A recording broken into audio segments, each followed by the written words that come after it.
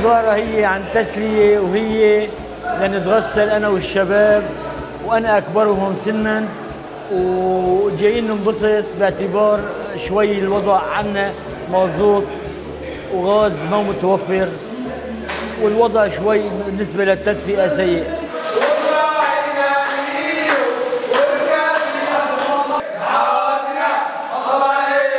هو الواحد بيجي من شغله تعبان.